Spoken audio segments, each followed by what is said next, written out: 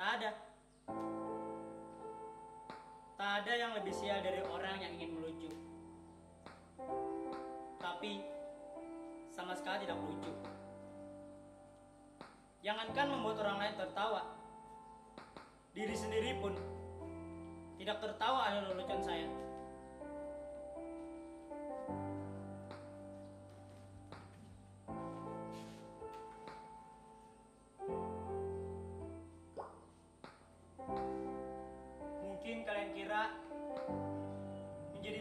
Gampang. Tinggal bertingkah kocak dan orang akan tertawa. Bila kalian menjadi saya, kalian akan mengerti. Tidak gampang membuat orang tertawa. Apalagi ketika kamu sedang tidak ingin tertawa.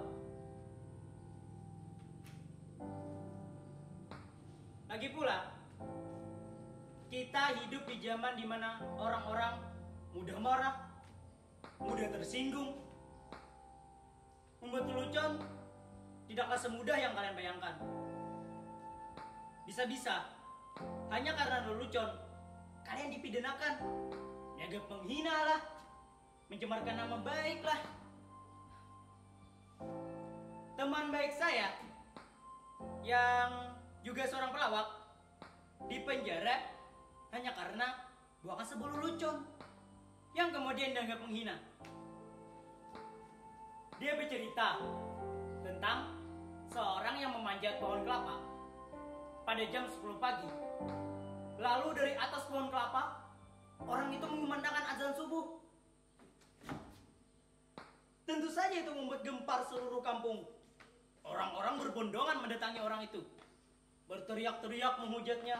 Bahkan ada yang ingin membunuhnya. Woi, turun kamu. Dasar kafir. Begitu teriakan orang kampung saat marah. Woi, berani-berani aja kamu melakukan penghinaan. Mengumandangkan dan subuh jam 10 pagi. Dasar orang aneh, kafir. Tapi dengan tenang, orang itu menjawab. Lo lo lo lo lo lo lo lo. Saya yang kafir.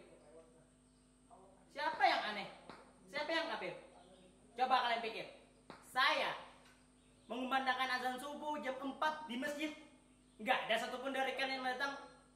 Lah sekarang jam 10 pagi, saya kumandangkan azan subuh. Kok kalian pada datang? Coba kalian pikir. Siapa yang aneh? Siapa yang gak taat? Siapa yang kafir?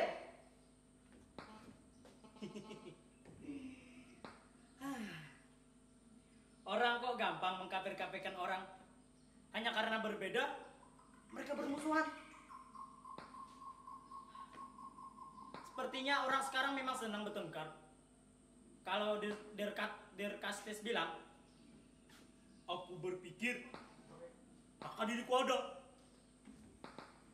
Orang sekarang lantas bilang, aku bertengkar, maka diriku ada. Pertengkaran menjadi komoditi yang diperjualbelikan. Bahkan ada pembenaran atas nama keyakinan. Ayat-ayat digunakan untuk kepentingan kekuasaan. Makanya susah membuat orang tertawa sekarang.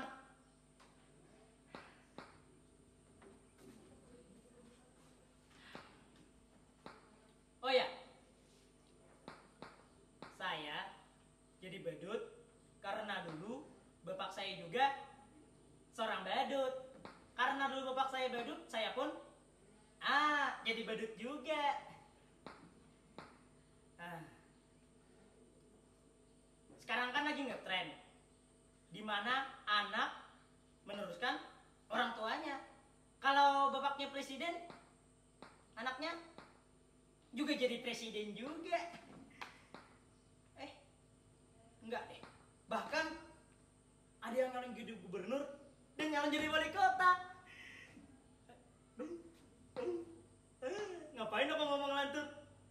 Bisa-bisa aku di penjara lagi. Dulu kata bapak saya jadi badut lumayan enak. Penghasilan lumayan. Orang-orang butuh hiburan. Zaman dulu badut dan pelawak dianggap masih lucu. Kalau sekarang pelawak dan badut kalah lucu sama politikus. Thank you.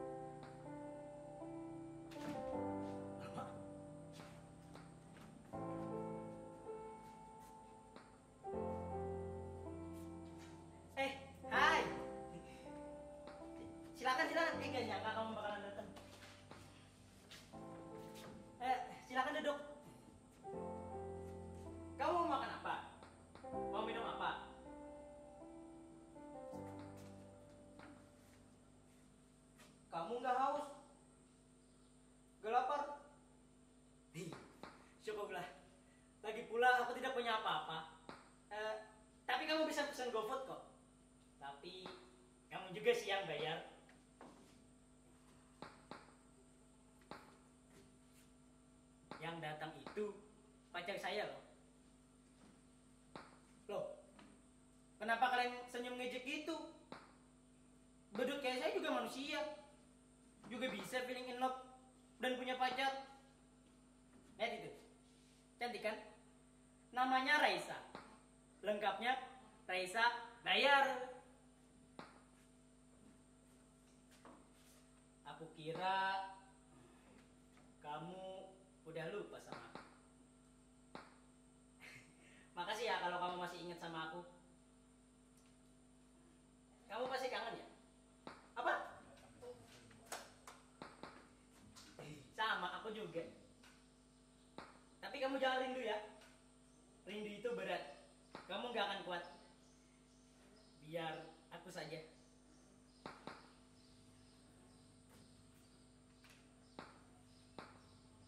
Katanya kamu sudah gak mau lagi sama aku. Udah punya pacar baru. Lebih ganteng.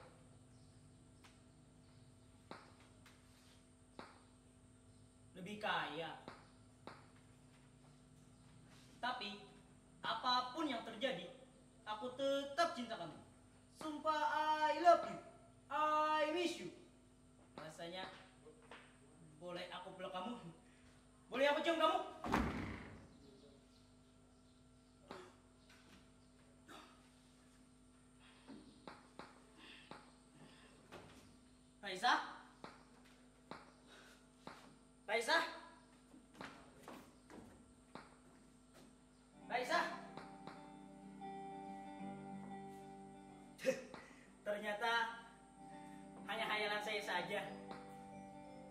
Tidak punya pacar. Saya bedut yang jomblo.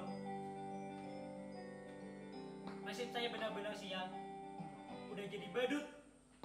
Jomblo pula. Jangan. Jangan jadi badut. Berat.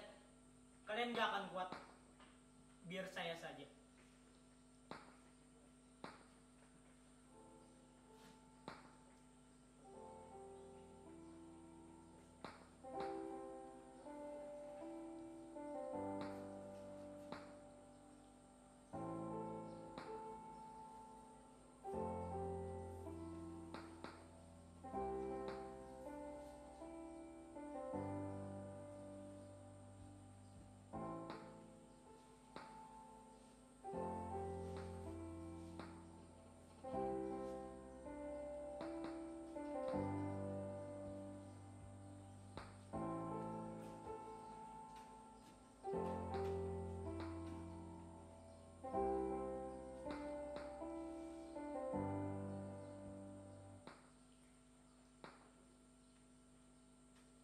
Kalian menatap saya seperti itu?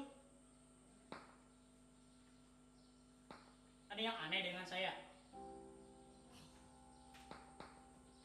Sudah saya katakan, saya ini badut yang sial. Tapi nasib memiliki kejutan-kejutan yang tidak pernah saya duga. Kalian lihat penampilan saya? Sudah keren kan? Kini saya sudah berpenampilan bagus. Tapi percayalah, saya tetaplah seorang badut. Saya tidak pernah memimpikan seperti ini. Tapi mungkin Inilah takdir saya. Suatu hari, saya diminta untuk mengisi acara pada sebuah kampanye partai. Menurut saya penampilan saya biasa-biasa saja. Sama sekali tidak lucu. Tapi semua orang yang hadir tertawa terpingkal-pingkal. Saya hanya menjitikan jari seperti ini. Pam pam pam pam pam pam pam pam. Semua orang tertawa. Bahkan ketika saya hanya menggoyangkan bokong saya, semua orang tertawa. Ketika saya hanya berdiri diam, semua orang yang hadir tertawa terbahak-bahak. Mereka terhibur dengan penampilan saya yang bodoh dan tolol ini. Hah, sungguh, saya tidak pernah masa setolol dan sebodoh ini. Lalu pimpinan partai itu mendatangi saya, menjabat saya, dan memuji saya. Katanya, saya sosok yang karismatik. Saya punya bakat untuk disukai banyak orang. Itulah kekuatan seorang pemimpin. Ia bilang kepada saya, sekarang ini menjadi pemimpin tidaklah perlu cerdas dan pintar. Yang penting disukai banyak orang. Demokrasi menjadikan seorang pemimpin bukan karena kecerdasannya, tapi karena disukai banyak orang. Pendukungmu akan memujamu habis-habisan. Tidak peduli kamu salah ataupun benar. Yang penting kamu tetap disukai banyak orang. Kamu boleh bohong dan ngibul sesukamu. Tapi yang paling penting, orang tetap menyukaimu dan memuja-mujamu. Orang menertawaimu, tapi sesungguhnya orang menyukaimu. Kamulah orang yang memiliki bakat besar seperti itu. Dan kamulah orang yang dicari partai saat ini. Lalu mereka mendandani saya hingga berpenampilan Messi seperti ini. Lalu mereka ikutkan saya pilkada. Saya tidak tahu apa itu pilkada. Saya tidak tahu apa itu bedanya pilkada dengan PLKB. Kalau orang bilang kalau PLKB, boh, nggak boleh coba-coba untuk anak-anak. Kalau pilkada, eh, boleh coba-coba untuk anak-anak. Makanya banyak anak pejabat dan pemimpin sekarang yang anaknya nyoba-nyoba ikut pilkada juga. Saya tidak tahu itu apa itu pilkada.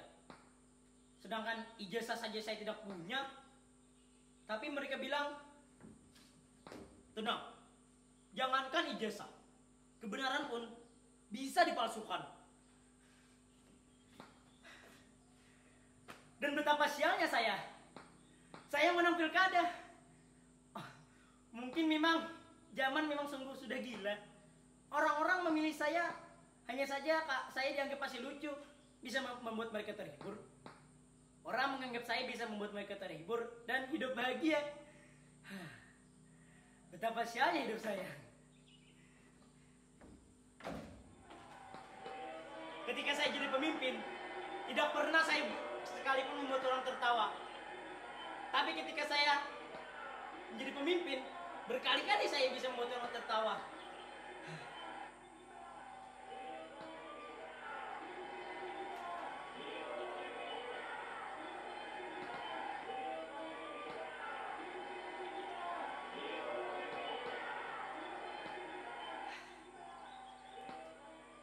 Nasib saya benar-benar sia. Dulu jadi badut, sekarang jadi pemimpin pun tetap jadi badut. Badut yang bisa mereka atur, badut yang bisa membuat mereka tertawa. Nasib saya benar-benar sia. Percayalah, jadi badut berat. Kalian gak akan kuat. Biar para politikus saja